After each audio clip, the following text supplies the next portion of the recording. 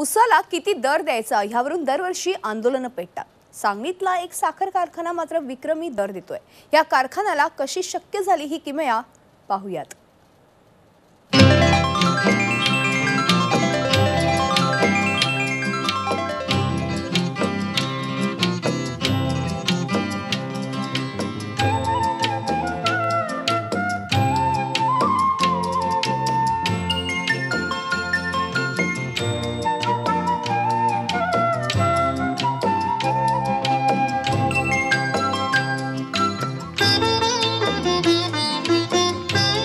क्रांती अग्रणी दिवंगत डॉक्टर बापू लाड यांनी सांगलीतल्या कुंडलमध्ये दोन हजार दोन साली क्रांती सहकारी साखर कारखाना सुरू केला.